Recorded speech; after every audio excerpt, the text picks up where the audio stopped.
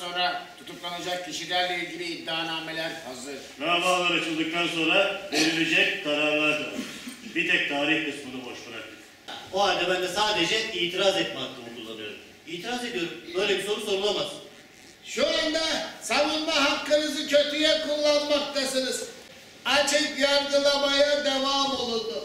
Sanıkta hakkınızdaki suçlamaları biliyorsunuz. Buyurun savunmanızı yapın. Hakkımdaki suçlamaları bilmiyorum. Neyle suçlandığım da belli değil.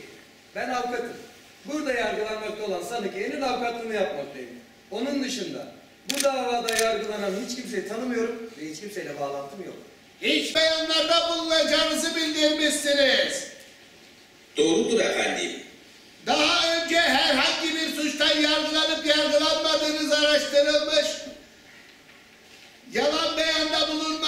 iki kez ne? Suç duyurusunda bulunabilirim biliyorsunuz değil mi? Lütfen oturun yerinize.